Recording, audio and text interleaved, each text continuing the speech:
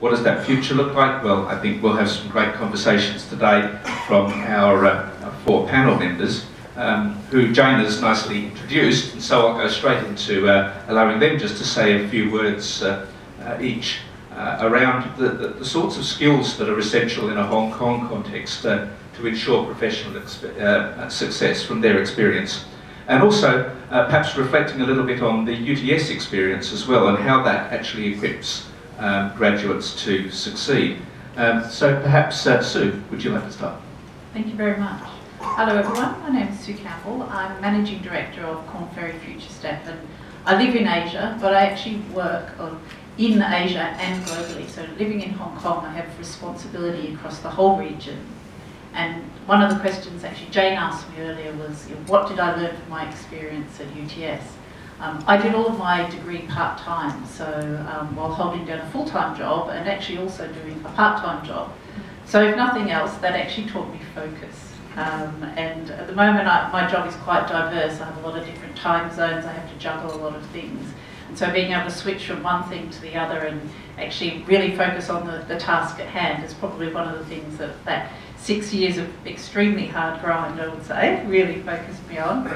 Um, and secondly, I, I, had the opportunity to work with a lot of very, very different people in my time while I was at university. And that diversity in my career has really been very invaluable to me in terms of keeping an open mind as to how I go about learning about this region, because frankly, no one can ever learn everything about this region and really understand it. Alex, uh, you're, you're, not a UTS uh, uh, graduate, but you're very close to us being uh, uh, associated with, uh, with Insearch It's a major contributor to our success in the, in the international domain.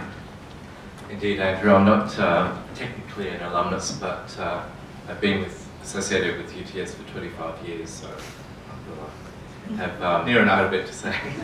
um, it, it, many of you may know that Insearch is the to UTS, the pathway provider, so our role is to prepare students uh, not only to get into the university, um, but to succeed. And we've been doing this over 25 years, so before I came on uh, and joined.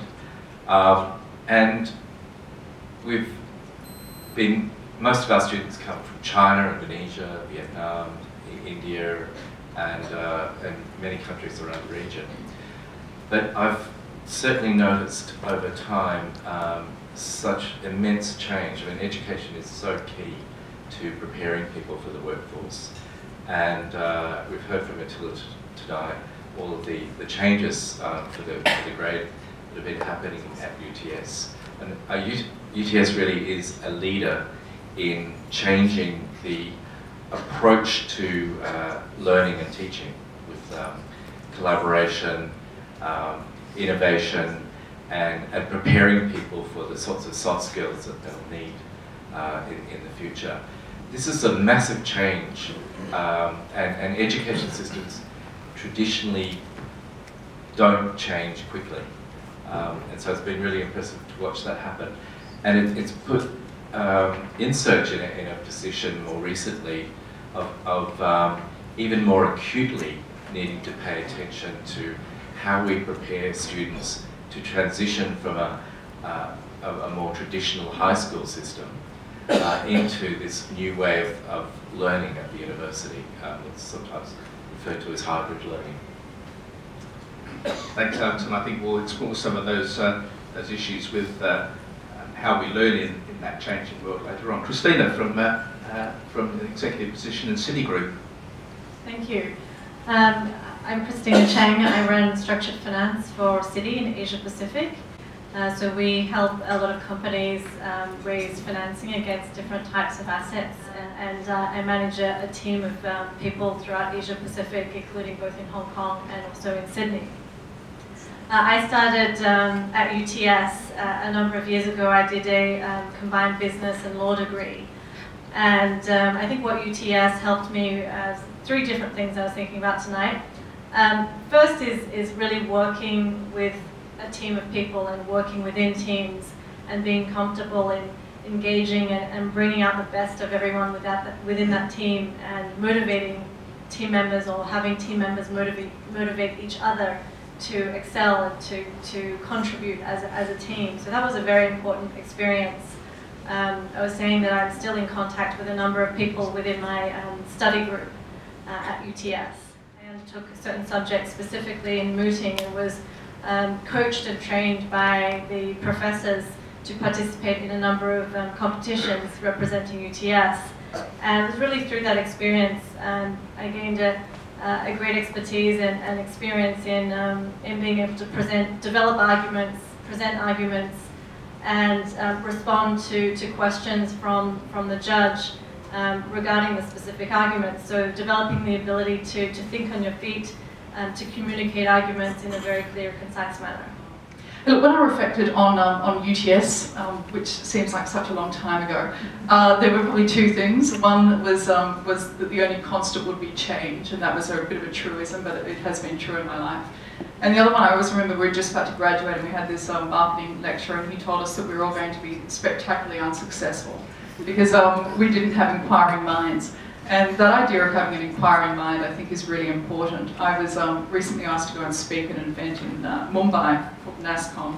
And again, I, I, misjudged the audience and thought there would be 100, and there was sort of 1,500 people there, which I, I, kind of picked up a couple of days before. But I had a speech I was giving about customers are changing and are you ready? And it was about an index we had done with The Economist about digital um, capability or digital nations effectively in Asia. Uh, and obviously, uh, Hong Kong does very well, Singapore does well, Korea does well. Uh, and, uh, and India wasn't as high on this index. I was trying to think how I was going to position it in, uh, in that home country. And, uh, and suddenly this index was kind of a little bit out of date, and so the only constant is obviously change, because within three months of the last time I had been there, and also when we produced this study, the Indian market had been absolutely, I suppose, disrupted by Reliance Jio coming in. There'd been the demonetization had happened in India, uh, and suddenly you had, uh, you know, um, something like I think uh, mobile wallets going from 35 million subscribers to something like 200 million a month, uh, and you also had the introduction of corporate citizen IDs, and so suddenly this position I was going to take about India and how you know it could do more. Um, was suddenly outdated and that had been leapfrogged in many respects. So I think for me, only constantly change and also having inquiring mind. And, and, just following up on that then, Ellie, uh, I mean, the digital revolution, we hear so much about it, and we hear so much about the impact it's having on all, all nature of business. Um, and in your role at, at, Telstra, you must see this all the time. So, so what are the sorts of things that Telstra are doing to sort of power um, the, uh, uh, the, the, future changes that this digital revolution will continue to bring? Yeah, it's a good question. I think you can't go to a tech conference without someone talking about digitization and it is almost like bingo. You know, 10 years ago you would go somewhere and people would talk about cloud and they would be trying to define it and a day later they'd still be defining it. Um, so digitization is one of those ones which I think is just now on trend. But the reason people are talking about it, I think, is very simple. I mean, if you think about it, even being as a consumer or as a B2B environment, you are just demanding more um, in terms of your digital experience. I think the second reason is obviously, you know, very basically, it's table stakes for any organisation or any government, quite frankly, to have a strong digital strategy, and that can even extend your product life cycle, introduce you to different markets. Um, and thirdly, and, and one probably people don't talk a lot about, is people want your digital footprint. So Reliance Jio in India, who have just invested 28 billion and gave away uh, 4G networking for something like six months and then got 100 million subscribers, the reason their CEO said that he did it is he just wanted people's um, digital footprint. Look, in Telstra we have a strong digital strategy, as does any major corporate you will talk to. Uh, the things we're talking about are things like digital experience. It sounds really basic, but to actually say that you will actually start thinking about a digital experience by putting the customer first rather than right at the end of the process, which again does sound basic, but quite frankly, if you've worked in organisations for a long time, that's often not what happens. Uh, we're looking at our digital platform, which again sounds a bit boring, but we're looking at the architecture of our business. A lot of industries, you will see legacy systems which just do not talk to each other, and therefore you can't get information flowing through those systems. So for us, the second thing we're working on is around digital platforms and the architecture of that. We have a bit of a saying that digital doesn't equal a platform uh, sorry, a portal, you can have a, a, portal up front and still have lots of people scurrying away in the background. So it really is to get an end-to-end -end flow. And the final thing is really to look at digital ways of working. So looking at how do you go from a waterfall approach to working to far more of a DevOps or an agile way of working. So I think we're embracing it, we're investing heavily. Uh, and where we don't have the skill sets, we either partner, we acquire, uh, or we build um, innovation hubs. And we have a number, we have one here in Singapore that's been really successful. We've run it over the last few years. Terrific. And Christine, your, your sector's been massively transformed by, by technology as well with fintech and, uh, and all the implications that that has, everything from cyber security to the, to the uh, user experience and engagement with, with, uh, with customers in all sorts of different ways. What's your perception on where this is all going? Um, yeah, I mean, definitely. I think that digitalization of, of banking has been very, very important, um, particularly in areas such as uh, consumer banking and the experience of, of, consumers and their engagement with with um, banking as a service, uh, as well as in the corporate world, particularly as, as corporates are looking to move large amounts of money uh, around the world, but be able to keep track of that in a very simple, efficient manner. Um, we do see uh, Citi being um, or using its advantages being at the forefront of digitalization to, to achieve market share, both in the corporate banking as well as in the consumer banking sector. I think in the area where I'm in, um, we see technology uh, and being at, keeping up with technology very important to how we communicate to our customers and how we deliver uh, our services and package our services to, to customers. And uh, it's also been very important to understand how um, technology impacts our customers, uh, their businesses, um, and how we can be sure to understand that their development of their, their businesses um, uh, leverages off the, the technology. So, um, and personally, we've been working with a lot of uh, fintech companies um, as they you know, de develop um, large pools of, of consumer finance receivables and look at different ways of financing those. And we have been very involved in, in looking at uh, financing of such, such pools of um, consumer finance businesses, and so really understanding how they how they originate um, facing a customer, or how, how do they assess a customer using technology, um, how the loan's underwritten, and then finally, do we feel comfortable um, financing those those um, receivables, and uh, you know, how do they differ from traditional banking? I guess in both of your sectors. Uh, uh, there's a whole new ecosystem of businesses forming that are, that are actually supporting that. Uh, and everybody's vying for, for, for, talent now in one form or another. So you, have got a background in accounting and work with the big four and all that. Um, but now you're in the heart of the people business. And, uh, and I guess the, the, the, future that we're trying to create here is really dependent on people, which is their, their capacity to be able to work in this environment, to, uh, to deal with the change, to come up with new ideas. what's your perspective on how this is all playing out?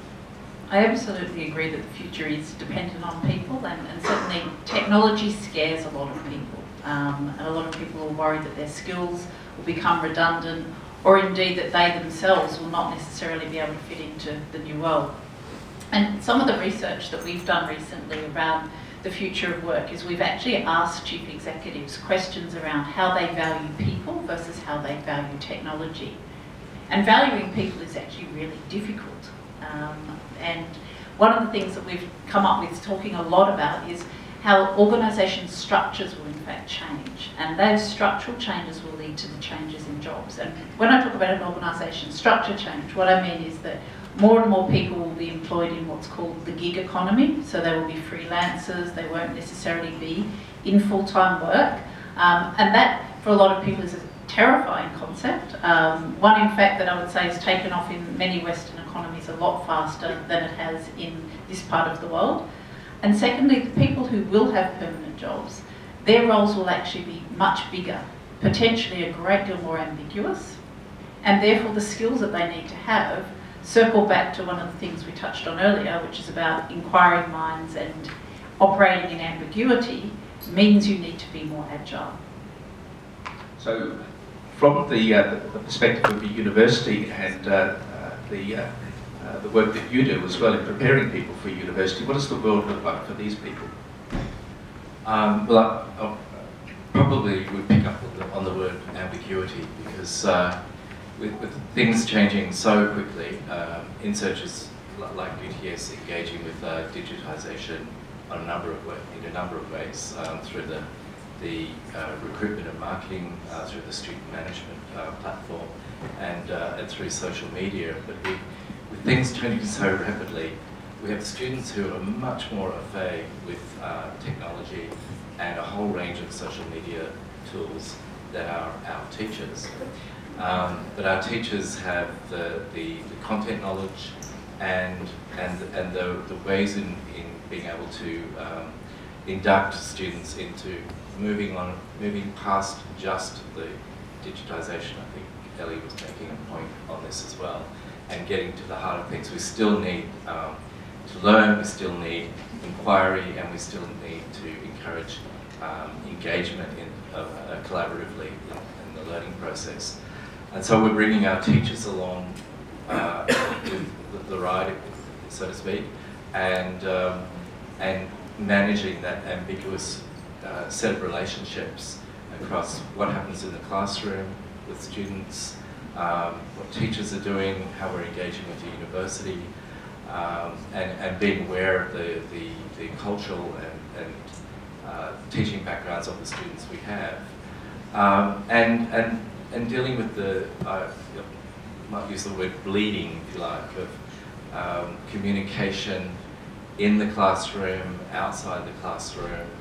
Um, it, it, used to be the case that uh, a lot of schools would, would ban the use of mobile phones in, in classes. We actually encourage the use of them, but we try to, uh, we aim to engage learners to use those devices um, as part of their, the, the learning tools. And, and so you've really got the learning process processes and learning community moving beyond just the, the classroom experience. It's one of the paradoxes, isn't it? In, in one sense, uh, the technological change that we see uh, is, is, creating uh, challenges, but on the other hand, it's creating opportunities. And, and whether it's in the learning environment, whether it's in the workplace, uh, that, that sort of uh, harnessing technology to create opportunities, to embrace them, uh, is, kind of fundamental to what uh, graduates are going to need to do in future, and indeed the future workforce is going to need to embrace that as well. So leveraging innovation uh, and innovative technologies to, uh, to master the skills is a leadership skill. Um, and Ellie, that, that's, uh, um, that's something I, I guess uh, very much worth thinking about for, for what we actually need to encourage students and graduates and, uh, and our people to, to embrace. Yeah, I mean, I was at a, um, a conference probably 18 months ago and Meg Whitman was one of the speakers. And, and for those of you who know her, obviously, uh, not only now the, the CEO of HPE and, uh, and chair of uh, HP Inc., but obviously had a history with eBay, had run for governor of, uh, of California, uh, and had had a long history and started off, I think, as a management consultant. But one of the things she said, and I think it's, it's very true, is that all companies are becoming technology companies. So it doesn't matter if you're in banking or if you're in uh, you know, recruitment or if you're in outsourcing or if you're in government, that everybody is becoming a technology company. And I think it then makes it really incumbent on everybody that that domain is no longer obviously just the CIO, it's not the domain of the chief digital officer. Um, you know, when we are out selling to enterprise customers, we're selling more to the chief marketing officer than anyone because they often hold the digital budgets. Um, so I think, you know, those times of saying, well, technology was very much someone else's domain is no longer the case. And so I suppose I would challenge people to say, if you don't really understand what augmented reality is or machine learning or uh, IoT or 5G or 3D or any acronym you can think of, then it's probably worth spending some time doing it. Because if you're not thinking about how that technology is potentially going to impact on your customers, your industry, your employees, then you're probably doing yourself and uh, I think your business quite a huge disservice. Um, the other thing I'd probably say is, you know, you do need to you know, come with that idea of starting with the future in mind, which is quite a change for a lot of people to start with the future in mind. Um, often people just start today, we've got a problem and this is how we think we're going to fix it.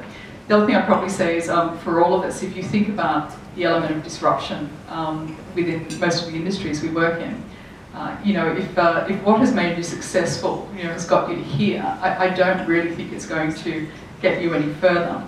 So I suppose when you do think you have the answers, you probably need to stop and, and disrupt yourself a little bit further as well. And the only thing I would say, and it was, it was nice to hear Attila talk about, you know, um, I think a higher purpose in some respects. You know, I think being a, a leader in, in, uh, in organisations today, having that higher purpose and being clear about, obviously, not only the vision of your business, um, but that wider social impact is actually really important. I sound like my mother. She always just talks about, you know, the last person she's talked to, but I, I go back to my story in India. Um, we closed out in India and I had a fantastic uh, dinner with the CEO of Tech Mahindra and a really interesting guy and obviously seen a lot of change. Uh, and the reason it was interesting was the conversation went from digitization to the partition of India um, to the theory of abundance, and that was in an hour. The reason I say it is just, you know, to have that balance across, you know, an interest I think is really important. Um, but then to also have an interest in obviously the social impact of some of the technologies that we're seeing is really important as well. And following right along from that, I, that, that high purpose means that uh, we think about doing things differently. And uh, Christine, tell us a little bit about what you're doing there and how, how technology and innovation is driving that initiative. Yeah, definitely. Um, I mean, I think we use these currently at Citi when we look at um, recruiting or engaging with the community.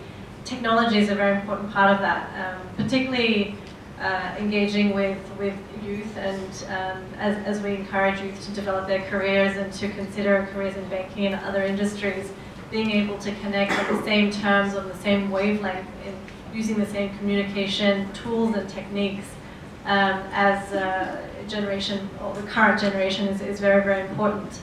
Um, we've also seen um, at the forefront of recruiting that, that if we um, if, if, we don't consider the way that um, youth currently thinks about work, uh, about the value of work, um, then it's very hard to attract um, bright, talented people to, to, to our industry. Uh, so we do use a lot of social media in, in uh, reaching out to the community, packaging you know, our message in, in ways that, um, uh, that the current generation understands. Um, but we also, also when we, we speak to the community, we're also, and think about the, the, the changing world and the changing uh, mode of work. I, I, think something that um, that Sue mentioned is, is very important as well is that um, not only is, is important to keep up to date with technology and to have the hard skills that technology requires, but I think soft skills are increasingly important to differentiate yourself. Um, given that we're now in a world where there's so much technology, so much dig digitalization, that a, human voice or a human judgment or human recommendation um, and developing trust on a human basis is, is very important differentiator.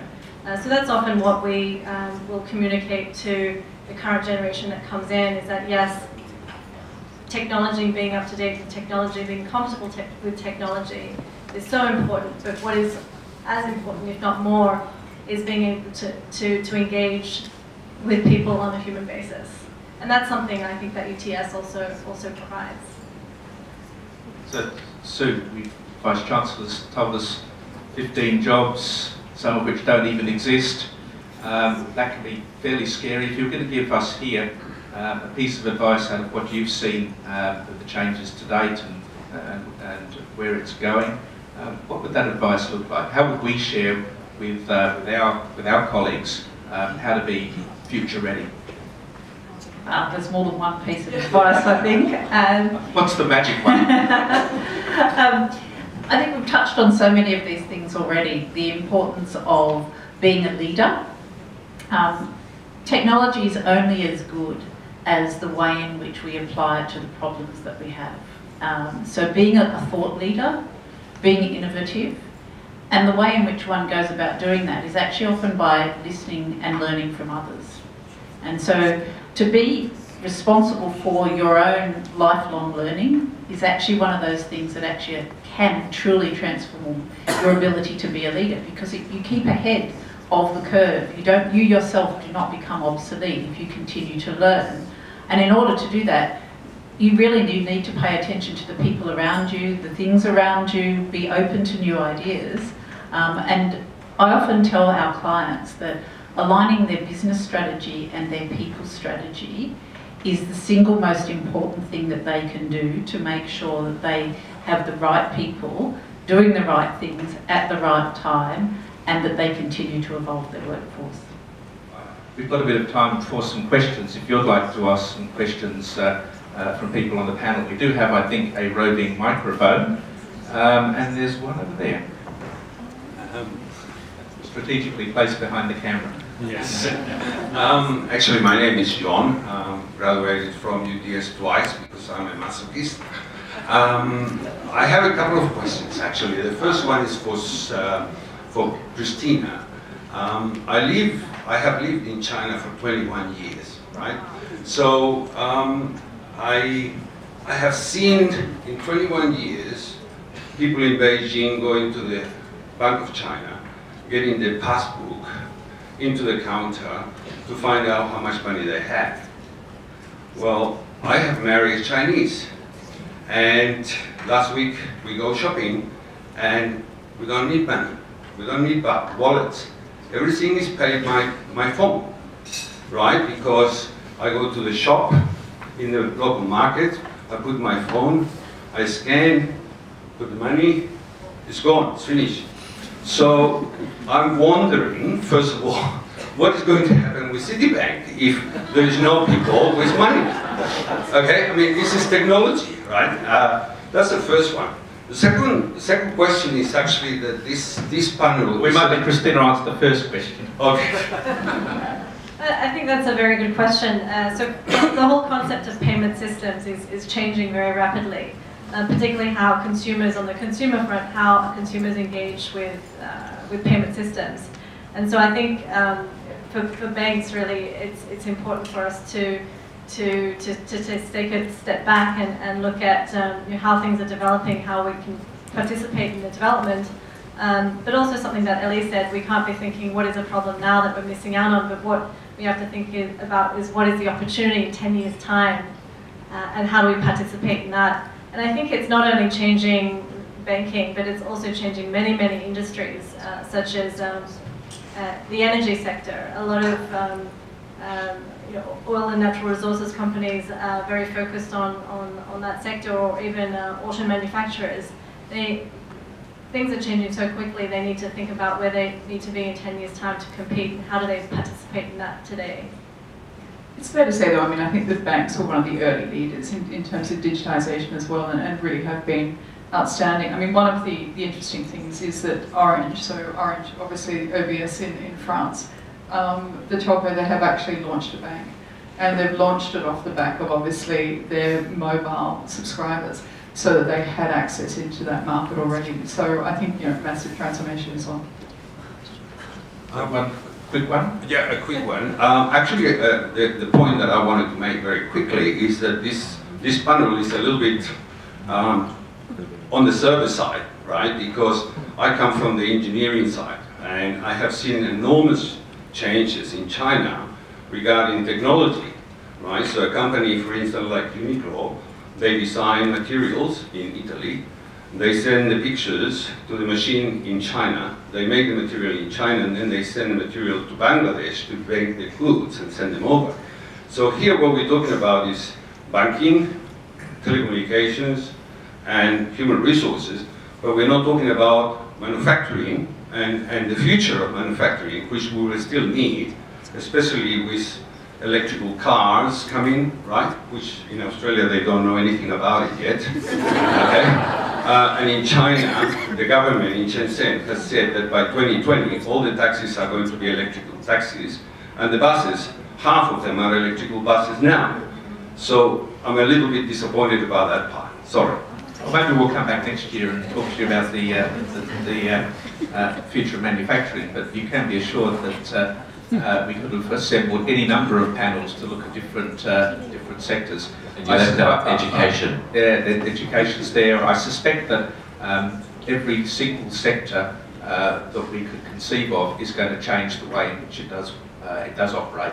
Um, the sorts of networks that are formed, the sorts of connectivity between the different parts of the uh, uh, the sector, that will evolve over time, as it has done historically as well.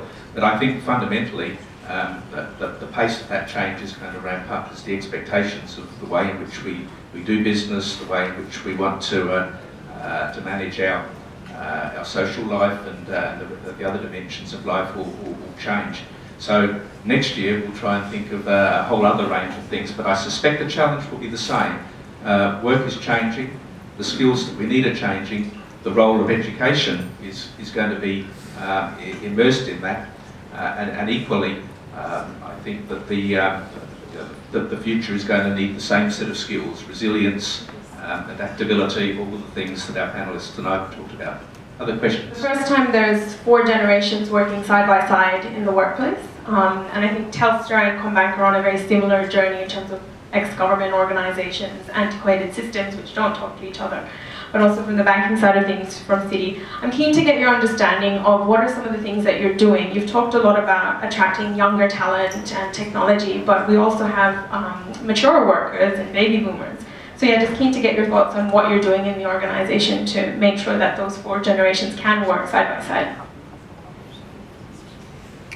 I think, um, uh, thank you for the question, and, and CBA are also a wonderful client of ours, so thank you for that as well. Um, look, we're doing a lot, of, and I, I, think I just sat on a diversity and inclusion uh, session yesterday, and I think, you know, often when people would think about diversity and inclusion, it was often, you know, gender and and then it became LGBTI, and, and you know now there's there's far more talk about for us around talent and how we attract talent and how we retain uh, retain talent um, how we work with people with disability. So I think if we start thinking about diversity and what it really means, to me it's that idea of really diversity of thought. Uh, and so I think what we're trying to engender is an, an environment where you actually encourage diversity of thought and you recognise that that can come from different uh, ethnic environments, from different genders, but from different age groups, from different um, uh, social standings, and also from different educations. So I think from us, we're doing a lot to try and actually recognise that within our, within our businesses. Um, we spend a lot of time on looking at, uh, at our training and, and, what we're doing for people, and I think that's really changed a lot. Um, we're huge users of Yammer, so social within our environments, and creating lots of different communities of interest, which quite frankly are, are open to everybody. We recently did, I think, an EES survey, so an employee opinion survey. What always fascinates me there is that it's often young people who are really engaged, and people when they get more to my age, they're sort of 45, um, largely because, and older, largely because, you know, you've had differences in your life. Um, we do a lot around flexibility, and I think we, have been, you know, um, given our technology background, a real leader in that path. Often when I ask people at the end of a skip meeting, why do you work for Telstra? Um, I am amazed, it doesn't matter what country I'm in. Um, people just tell me it's because I get to work flexibly. And that can be in US, it can be in uh, the UK, it can be in you know uh, France, it can be here in Hong Kong. Um, so we're doing a lot around diversity of thought, inclusion, but also around flexibility in the workplace as well. And quite frankly, that's been a real winner for us in terms of retaining key talent as well. That's a good question. I think that uh, you're right. A lot of the time, particularly in the banking industry, very traditional, um, very demanding industry, particularly in the, the, the corporate side of things, that um, we do do um, focus a lot about um, attracting young talent, graduate talent. Uh, I, I do think that there is probably not enough focus on how do we ensure that there is career longevity as well. Um, there's no there's no real uh, deliberate focus on that. I think that it's, it's something that, that will be important um, to, to change over time. Um, but some things that Ellie mentioned are also a focus of, um, uh, of the banking industry and of Citi. Um, it more goes to retaining retaining talent, um, but not to to deliberate, deliberately looking at career longevity, but things such as um, giving people a, an opportunity to be to, to have career mobility. So moving countries, um, moving moving departments, moving areas. Um, so there is a big focus on, on career mobility, and I think that as people have careers that span uh, 20, 30, 40 plus plus years, being able to to change environments, to change um, uh, the the type of work that you you uh, are in is important um, to to have a fresh set of eyes looking at different areas. So you would see this intergenerational issue in the, the, sorts of people that you work with as well. I'm, just wondering whether you're seeing um, uh, changes over time in, in, the way in which different generations engage with technology and embrace it. Uh, I reflect on my elderly aunt who probably um, uh, probably does embrace technology faster than I do in some ways, in some of the things that, that, that she does by necessity as much as anything else. I can comment about it in relation to the organisation that I work with. So Korn Ferry is a, a, search firm by legacy, and so probably the average age of a partner at Korn Ferry is 10 to 15 years older than me, um, maybe even a little bit older than that. Um, and the average age of the business that I run, which is Futurestep, is probably about 27. So I have very, very different issues around how I engage my staff in terms of a sense of purpose, the way in which they use technology, the way we go to market when we look for candidates is radically different to the way in which you know, another division of the very same organisation engages with their staff, engages with their customers, their candidates, their clients. And we often give advice to our clients about how do they really change their talent attraction strategies and segment it in the very same way that they would segment a customer base. And so social media is used, we use Yammer as well, social media is used heavily in my business. And I'm sure if I sit next to a, a partner, Korn Ferry partner in the um, office, literally next to me, I'm sure if I said to him, what's Yammer, he'd be like, what are you talking about? so, so we use different means in our organisation to engage our different groups in a way that's relevant to them.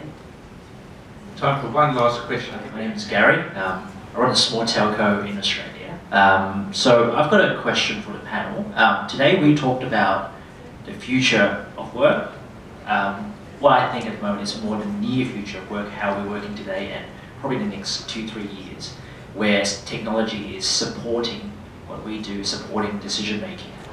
Um, but if we can take it a, a step further, um, an example being, you know, uh, machines beating the best in the world in chess, machines beating the best in the world in AlphaGo, um, it seems like, and also um, driverless cars, it seems like decision making is transiting, uh, transiting towards the machine and we becoming the support infrastructure behind it. So if we take it further, maybe a 10 year or, or 20 year view, where do you see it? But maybe I'll steer away from Telstra because we know that closing an IPVPN deal is not machine based, it's, it's all human interaction. So maybe open up to the panel on what do you think in 10, 20 years time? how machines and artificial, artificial intelligence and also big data will drive decision making or make decisions that we become the arms and legs. Who wants to take that one? I, would just say very quickly that um, I, as an optimist, I would see the opportunity for uh, humans to pursue more higher level decision making um, and services industry will, will grow. Um, I'm sure my colleagues on the panel would have more to say about that. But I can relate to it in our organisation. So we're in the process of rolling out artificial intelligence software to do candidate sourcing. And so that's you know, not exactly groundbreaking, it's been around for a long time, but it hasn't necessarily been that accurate. So now it's a great deal more accurate. so many of our staff were initially terrified that that would mean that what they were doing, which was sourcing candidates, would make them redundant. And our view is that it won't make them redundant because all it does is substitute a part of what they do. And in actual fact, what we need them to do is once the candidates have been found by the artificial intelligence tool, they have to engage with them. So it comes back to that being higher level of engagement, very much more I guess, socially capable individuals, um, having people who can make decisions and develop, I guess, a strategy. The machine's not going to do that for them. All the machine will do is probably the part of the job that actually is, you know, a one, two, three. So, I think we probably should, should wrap up at this point. I, I should add that the um, many of the reports that have talked about the the, um, uh, the loss of these jobs um, that are, being displaced by automation, by, um, uh, by data and computing, uh, do talk about the fact that the jobs that remain are those that require the high level skills, the innovation, the creativity, sometimes even the craft-based skills that, uh, uh, that even the most ambitious machines can't actually solve. So I think the opportunity for us and for universities, in particular UTS, um, is to try to continue to provide the skill sets that people need uh, across the course of uh, a very diverse career. And so that 10% offer that the Vice-Chancellor talked about is there for you whenever you're ready to have it. Would you join me in thanking the panel for a wonderful discussion?